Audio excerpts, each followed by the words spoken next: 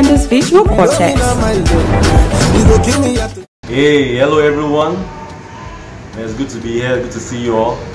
My name is Tamanokuro Charles Okaye, popularly known as Heyo Marco, and also popularly known as Grejo back in McDonald Memorial International Institute. And the truth of the matter is that you don't even know the surprise we have for you right now. We have a very big surprise. Like, I'm here, I'm excited, I'm here with the legendary, the iconic, the Bos Bos Bas Bas.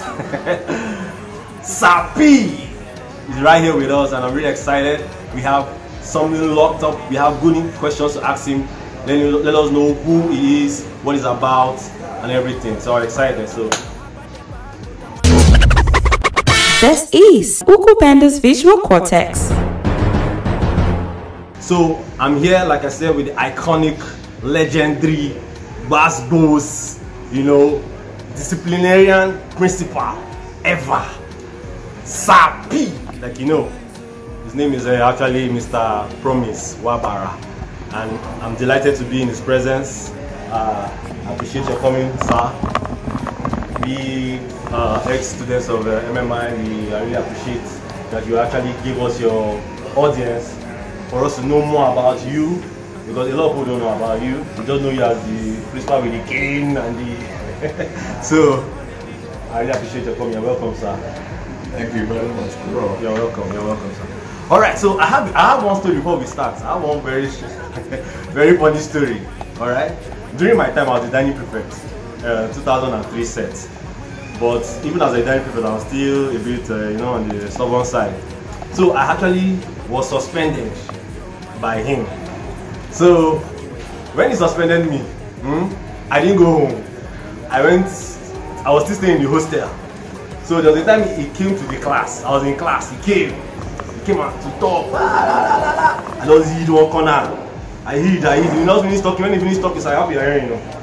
When he finished talking, he finished talking, he now left. And I said, Che, correct. And he didn't see me, he didn't see me. So on that same day, I mean the next day, I was coming back from break. Me and my guys just coming back from break, you know, we're chewing gala and our stuff. It was that, that is office window. When I now finished my gala, that was when I now dropped the wrapper of the gala. I don't know, he just opened the window. He said, hey, who dropped that gala there? Who is that person? And I said, Sam, the one. You know, looked. Ah, okay. I thought you was obsession. Come on, go back, come on. so from there, you threw me out of the gate without going to the hostel to collect my clothes. So now I'm here with him. And uh, sir, thank you very much for your discipline. Thank you. I else wouldn't have uh, turned out this way. Uh, so, yeah, so we want to ask you more about yourself, sir. All right? So you cannot just um, tell us a bit about yourself, a little about yourself. All right. Um, thank you very much, uh, Kuro. Uh, I must say that I'm very delighted here for this interview. Um, as a matter of fact, my name is uh, Sir Dr. Promise